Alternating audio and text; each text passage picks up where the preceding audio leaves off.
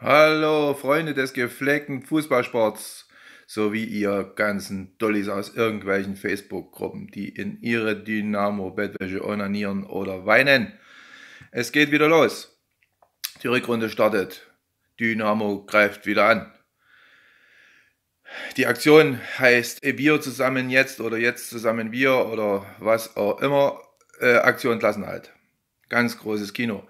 Wir haben 13 Punkte und wir stellen uns mal ganz dumm. Es sind noch 16 Spiele. Wir werden 8 gewinnen und 3 Unentschieden erreichen. Macht summa summarum 40 Punkte und damit wahrscheinlich den Klassenhalt. Aber wie soll es denn funktionieren? Zum einen, wir haben einen neuen Kapitän äh, mit Florian Ballas, einem der schlechtesten Abwehrspieler der Vorrunde, ist jetzt Kapitän geworden. Er wird es wahrscheinlich dadurch jetzt sehr viel besser mit seiner Leistung, man weiß es nicht genau. Also für mich hätte es nur einen äh, Kapitän gegeben, einen neuen, und das wäre Ehrenbruder Broll gewesen, der mit konstanter Leistung so relativ alles zusammengehalten hat in der Hinrunde.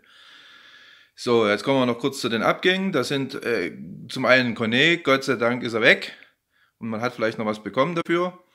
Und der Ferner ausgeliehen irgendwo, dass er Spielpraxis bekommt. Super, ein super Transfer. Man holt den Mann, weil er ein Talent ist und jetzt wird er wieder verliehen. Ganz großes Kino. Zu den Zugängen. Petrak, Donio, Terrazino, Schmidt. Was für Namen. Man wird sehen. Also keine großen Zugänge, wo ich jetzt sagen muss, die hauen mich jetzt unbedingt vom Hocker, aber man wird sehen, wie die Jungs einschlagen und uns helfen. So, alles in allem bleibt einfach wieder nur zu sagen, ein zusammengeborgter Haufen an Neuzugängen, wo abgewartet werden muss, was sich daraus entwickelt. Und wir müssen jetzt gucken, dass es irgendwie in Richtung Klassenhalt geht. Heute den Anfang machen mit einem Sieg gegen den Karlsruher SC.